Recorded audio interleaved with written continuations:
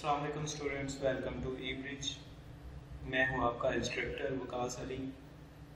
Last video में हमने सीखा था किस तरह से हम सिलेक्शन करके क्विक सिलेक्शन टूल्स के ज़रिए इमेज का बैकग्राउंड चेंज कर सकते हैं। इस लेक्चर में हम सीखेंगे कि इमेज को हम क्रॉप किस तरह से कर सकते हैं और क्रॉप टूल के फ़ंक्शंस क्या हैं। आइए स्टार्ट करते हैं लेक्चर को। फोटोशॉप ऑन कर लें मेरे पास यहाँ पे एक इमेज है जिसको मैं क्रॉप करना चाह रहा हूँ। तो सबसे पहले मैं यहाँ पे क्रॉप टूल सेलेक्ट कर देता हूँ। शॉर्ट की सी है। जैसे मैं यहाँ पे टूल को सिलेक्ट करूँगा, मुझे एक एरिया आउटलाइन शो कर देगा। इस एरिया को मैं इस तरह से कस्टमाइज कर सकता हूँ। इसमें ये जो आपको शेप्स नज़र आ रही हैं, ये हम इस टूल की सेटिंग्स में से चेंज कर सकते हैं। यहाँ पे हम डायरेक्ट रेशो दे सकते हैं कि इस रेशो का मुझे ये कैनवस जो है वो क्रॉप करना है, ये इमेज क्रॉप करना है। या फिर यहाँ पे और भी रेशोज पड़ी हुई हैं। फ्रंट इमेज यहाँ पे पिक्सल्स में है। डिफरेंट साइजेस की ये यहाँ पे पहले से प्रीसेट बने पड़े हैं। आपको अगर न्यू प्रीसेट क्रिएट करना है तो आप यहाँ पे न्यू क्रॉप प्रीसेट के ऊपर क्लिक करें और यहाँ पे आपको ये रेशियो डिफाइन कर दें पिक्सल सात, जिस तरह से ये वैल्यू लिखी हुई है, इसी तरह से। और ओके कर दें तो वो न्यू वैल्यू यहाँ पे अप्लाई हो जाएगी। वो कह रहे थे, ये वाली प्रीसेट पहले से इसमें मौजूद है तो हम कोई डिफरेंट इसमें बना सकते हैं। ओके इसको हम कैंसिल करेंगे। कि उसके बाद यहाँ से हम क्लियर कर सकते हैं और इस ड्रॉप डाउन मेन्यू में से हम पिक्सल पर सेंटीमीटर और पिक्सल पर इंच सेट कर सकते हैं। अभी 92 पिक्सल पर इंच है। हम इसको क्लियर कर देते हैं। यहाँ से रेशो क्लियर हो जाएगी। उसके बाद यहाँ पे स्ट्रेंथ है। स्ट्रेंथ हम इस तरह से जस्ट ड्रैग करेंगे। तो एरिया जो हमें क्रॉप करना है, वो इतना एरिया एंगल जो है वो भी चेंज हो जाएगा। इस तरह से भी हम एंगल चेंज कर सकते हैं क्रॉप एरिया का। और ये जो आपको दरमियान में क्रॉप एरिया के दरमियान में ग्रिप ग्रिड नज़र आ रहे हैं, ये भी हम चेंज कर सकते हैं। स्ट्रेंथ से आगे जो हमारे पास यहाँ पे एक ऑप्शन है ड्रॉप डाउन मेन्यू में। यहाँ पे हम इस क्रॉप एरिया की शेप्स चेंज कर सकते हैं। ये एक grid rule of things thirds area है। यहाँ पे ग्रिड है। और यहाँ पे डायगोनल इसका क्रॉप क्रॉपिंग से कोई जो है वो ताल्लुक नहीं है। ऑल प्रेस करेंगे तो आप चारों साइड से इकट्ठी क्रॉपिंग कर सकते हो। और अगर आप एक साइड तो क्रॉपिंग करना चाह रहे हो तो शिफ्ट बटन, शिफ्ट के साथ आप एक साइड को क्रॉप कर सकते हो। और अगर आप ऑल्ट और शिफ्ट प्रेस करते हो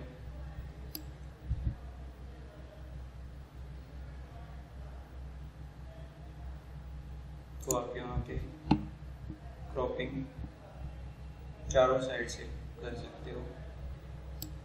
ये फ़ंक्शन चेंज होते रहते हैं अडोब के वर्जन्स के साथ। अगर आपके पास अडोब का वर्जन प्रो है तो आपको ऑल्ट एंड शिफ्ट के साथ काम करना पड़ेगा। अगर आपके पास अडोब फोटोशॉप सी है तो आप खाली ऑल्ट प्रेस करके भी काम कर सकते हो।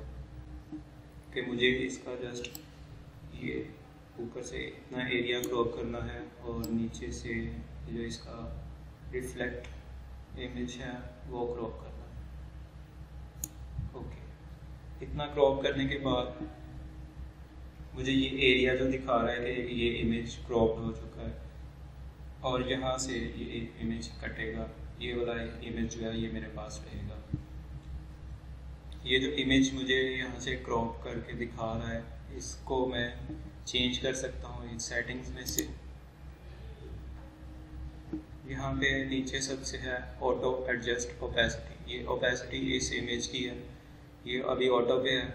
अगर मैं इसको ओपेसिटी को कुछ यहाँ से कस्टमाइज़ करना चाहूँ तो मैं यहाँ से ओपेसिटी इसकी कम ज़्यादा कर सकता हूँ। ये वाला इमेज मुझे क्रॉप जो हो रहा है, वो कितना नज़र आए, उसकी ट्रांसपेरेंसी कितनी रहे। मैं यहाँ से सेट कर सकता हूँ। हंड्रेड परसेंट पे रखूँगा तो बिल्कुल ही नज़र नहीं आएगा। तो मैं इसको सेवेंटी फाइव या एटी परसेंट पे रख लेता हूँ। यहाँ पे आप डायरेक्ट भी लिख सकते हैं। सेवेंटी फाइव उसके बाद यहाँ पे कलर मैच है। ये जो क्रॉप एरिया है, उसका मैं कलर यहाँ से चेंज कर सकता हूँ। अभी मैच टू कैनवस है।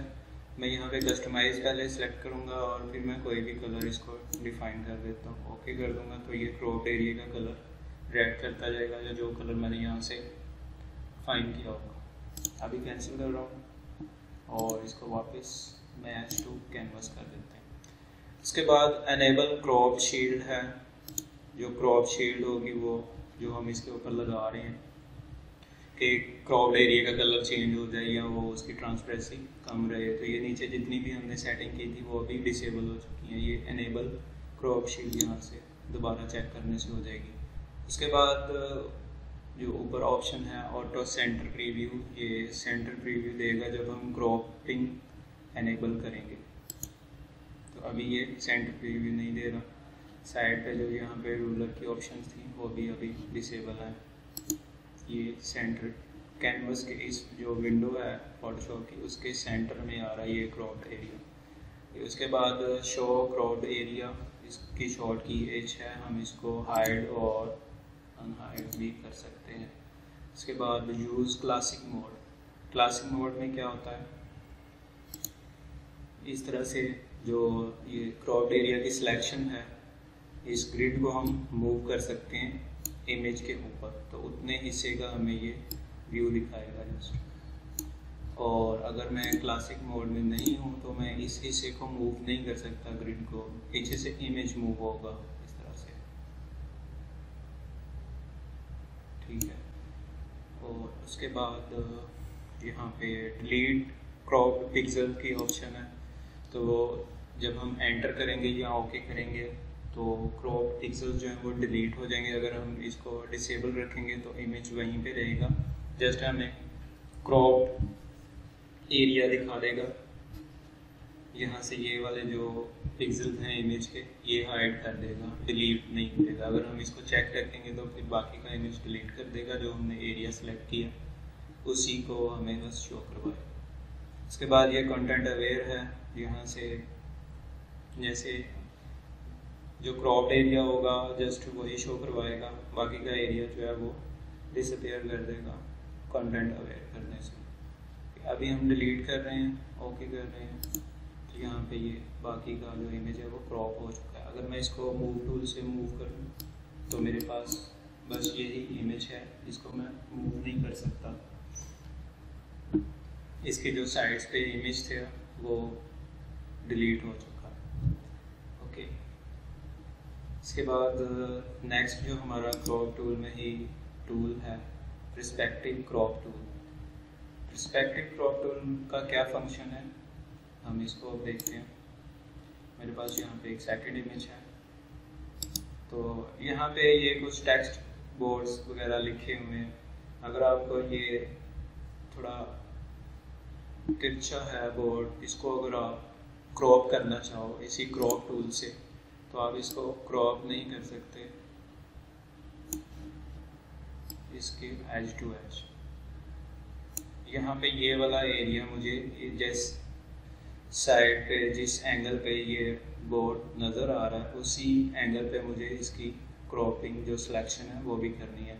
तो वो मैं इस क्रॉप टूल से नहीं कर सकता। वो मैं रिस्पेक्टिव क्रॉप टूल से इजीली कर सकता हूँ।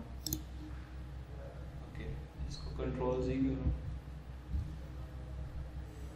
ओके तो इसमें मैं जूमिंग कर देता हूँ इस एरिया पे, ताकि ये क्लियर नज़र आए। इमेज हमेशा आपने हाई रेजोल्यूशन इस्तेमाल करना। यहाँ पे पहले मैं इसका एक एरिया डिफाइन कर देता हूँ, मुझे इतना क्रॉप करना है। उसके बाद ये मेरे पास कुछ ग्रिड ओपन हो गया है और उसमें एंकर पॉइंट्स हैं। मैं इसको कोई भी की मूव प्रेस किए बगैर होल्ड किए बगैर, इसको मैं मूव कर सकता हूँ। इसका एक एक पॉइंट जस्ट माउस से आपने इसके पॉइंट्स को ड्रैग करके सिलेक्ट कर लेना, जितना एरिया आपको क्रॉप करना है। तो आप इस तरह से, इस तरह के इमेजेस की भी क्रॉपिंग कर सकते हो। सिलेक्शन क्लियर करने के बाद ओके करो एंटर करो तो ये आपके पास उतना हिस्सा या वो फ्रंट व्यू पे दे देगा और उस तरह के बोर्ड साइन बोर्ड या उस तरह का टेक्स्ट आपको क्रॉप करना है तो आप परस्पेक्टिव क्रॉप टूल से इजीली क्रॉप कर सकते हो।